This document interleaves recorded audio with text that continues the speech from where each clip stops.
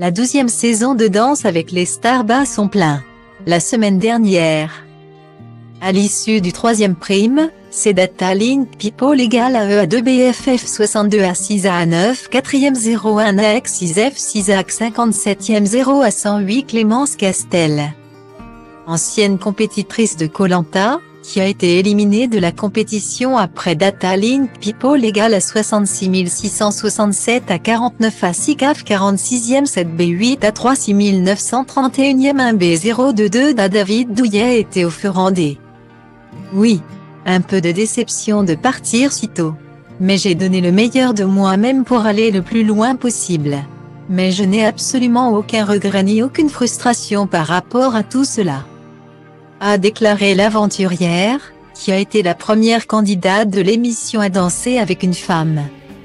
Ils ne sont désormais plus que neuf à prétendre à la victoire, Florent Peyre, Billy Crawford, Léa Elui, Amandine Petit, Angun, Thomas Dacosta, Stéphane Legare. Datalink People égale à 18 087 F9 à 8533 à 439 C à 94 à 85 FC 7D des 9 F3Z Carla Lazari et Eva Kéan.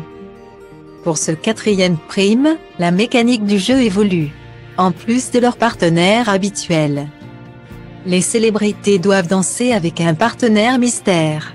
Elles découvriront l'identité de ce danseur mystère pendant la danse. Cette personne peut être un ami, un membre de la famille ou même un ancien candidat du concours. Après avoir commencé sa prestation avec son danseur Adrien Gabi, Angun a été rejoint par Jean-Marc Généreux. Figure emblématique de l'émission. Malheureusement pour la chanteuse, son entrée sur le parquet a été perturbée par un petit accident qui n'est pas passé inaperçu.